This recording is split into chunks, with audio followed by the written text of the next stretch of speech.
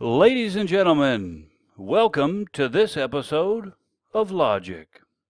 Now, the fallacy of composition is the topic of this video. It's a fallacy of grammatical analogy, which means that it occurs in an argument that is grammatically similar to other non fallacious arguments.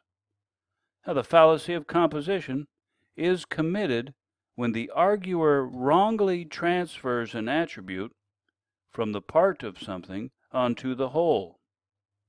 The following illustration will provide an example. Frank, I'd like to make you dinner. Okay, that'd be great. What are your favorite foods? Well, I like spinach, uh, pizza, and vanilla ice cream. I've been wanting to try my new blender. Dinner is at 6. Ding!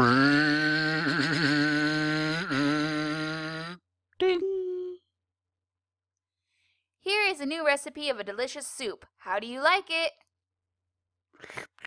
Ugh, that is disgusting. You like the ingredients, therefore you should like the meal. Hmm. Well, let's take a closer look at what just happened. Now, Cindy argues that the parts are tasty to Frank, the spinach, pizza, and ice cream, and therefore the whole should be tasty to Frank, the mixture of these parts.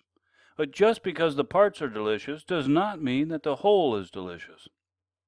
And in this case, the whole is a blended slop of contrasting flavors, which is usually not delicious. Now, Cindy's argument is fallacious because she has incorrectly transferred the attributes of deliciousness from the parts to the whole. And to continue strengthening your critical thinking skills, see our other videos on logic. Comment, like, share, and subscribe, and have a great day.